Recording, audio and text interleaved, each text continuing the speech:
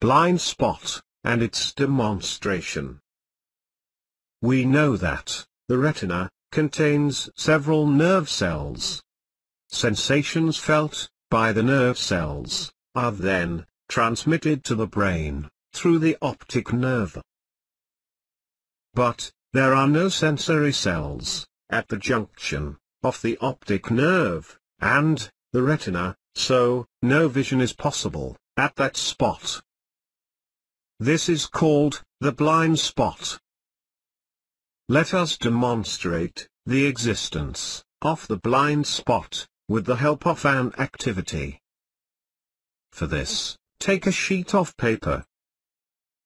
Make, a round mark, that is a spot, and a cross, on it, as shown. Let, the distance between, the two marks, be 6 to 8 centimeters. Now hold, the sheet of paper, at an arm's length, from the eye. Close, your left eye. Look continuously, at the cross.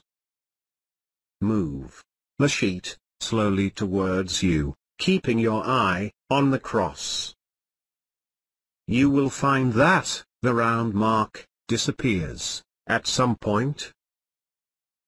Now close, your right eye. Look, at the round mark now, and, repeat the activity. Again, you will find that, cross disappears, at same point. The disappearance of the cross, or, the round mark, shows that, there is a point, on the retina, which cannot send, messages to the brain, when light falls on it. This point, is called, the blind spot. Hence, the discussed, activity demonstrates, the existence of blind spot, in human eye.